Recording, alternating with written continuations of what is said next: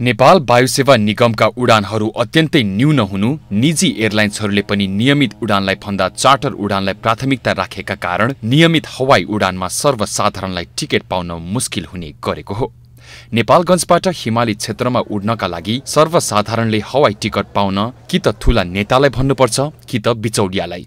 सामान्य ढङ्गले आफै टिकट लिन्छु भन्ने हो भने महिनौसम्म पनि टिकट पाउन नसकिने अवस्था त्यस क्षेत्रको छ। सुत्केरी गराउन नेपालगञ्ज आएकी लुम्बिनी प्रदेश पूर्वी रुकुमकी टिका शाहले घर फर्कनका टिकट नपाएको बताउँछिन्।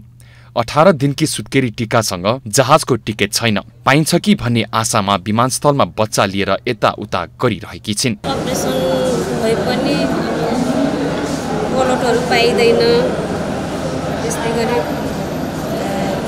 पनि छैन केही पनि छैन त्यहाँ।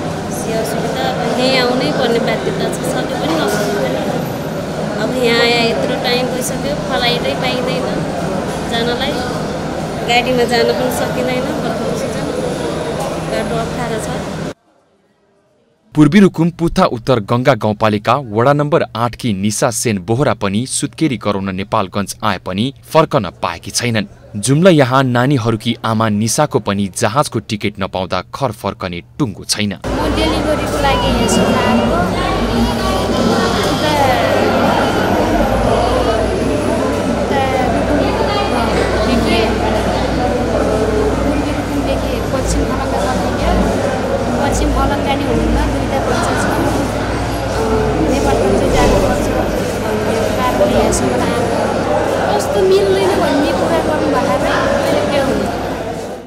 कर्णाली प्रदेश हुम्ला जिल्ला खारपुनाथ गाउँपालिका वडा नम्बर चारका विष्णु बहादुर शाही नेपाल वायु सेवा निगमका कम उडान र भएका उडान पनि समयमा नहुने भएकाले समस्या भएको बताउँछन्। नेपाल वायु सेवा निगम नेपाल सरकारको जुन आधिकारिक एउटा विमान हो नि।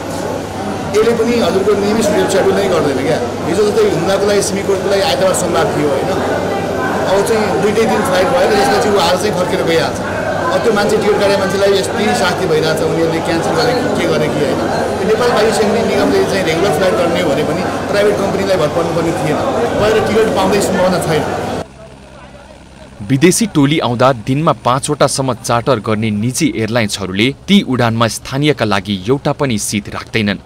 कार्गो उडान गर्ने विदेशी ओसार्ने तर आफूहरू बिरामी हुँदा पनि उडानको टिकट नपाएर उपचार अभावमा ज्यान गुमाउनु पर्ने भन्दै स्थानीयहरू हवाई उडान सेवाप्रति नै आक्रोशित बन्दै गएका छन्।